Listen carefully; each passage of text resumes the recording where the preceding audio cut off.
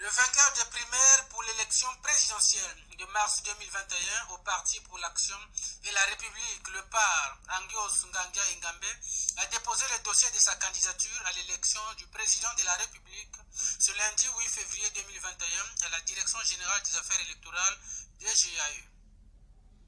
Accompagné par quelques membres de son cabinet, le candidat Angios est allé d'abord présenter ses civilités au directeur général des affaires électorales avant de se rendre dans la salle administrative, là où tous les prétendants au fauteuil présidentiel viennent déposer leur dossier de candidature.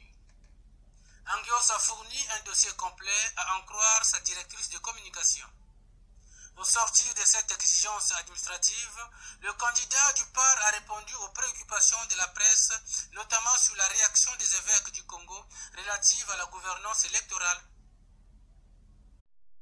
Les évêques ont évoqué cette question. C'est leur droit.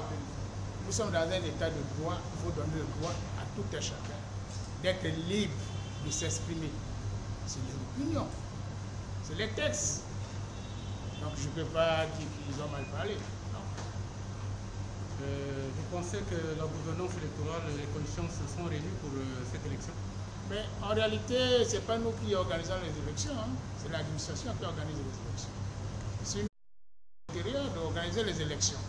C'est parce que, bon, avec les, ententes, on a créé euh, la CENI. Tout ça, ça, vous voyez sur le jour que là-bas, il y a la CENI. Aux États-Unis, vous avez vu qu'il y a une commission électorale qui organise les élections.